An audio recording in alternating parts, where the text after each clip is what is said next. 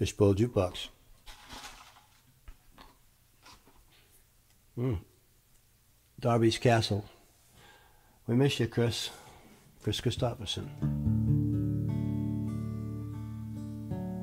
See the ruin on the hill where the smoke is hanging still, like an echo of an age long forgotten. There's a story of a home beneath that blackened stone. And the roof that fell before the beams were rotten.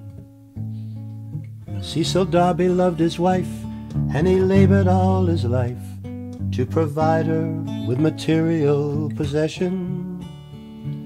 And he built for her a home of the finest wood and stone, and the building soon became his sole obsession.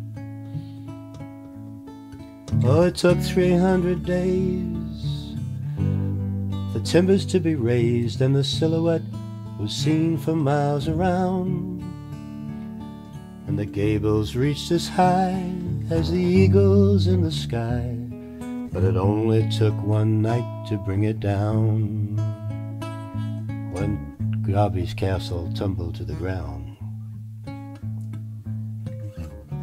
Though they shared a common bed, there was precious little said in the hours that were set aside for sleeping.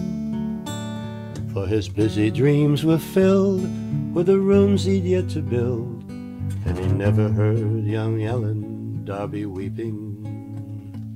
Then one night he heard a sound, and he laid his pencil down, went to her door and turned the handle, and the pale light of the moon through the window of the room shone upon where two bodies lay entangled.